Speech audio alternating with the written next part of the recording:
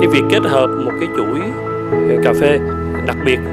riêng mà mới với lại cái bảo tàng mang tính lịch sử của cà phê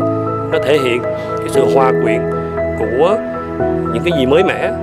và những giá trị truyền thống mà cà phê mang đến cho nhân loại, mang đến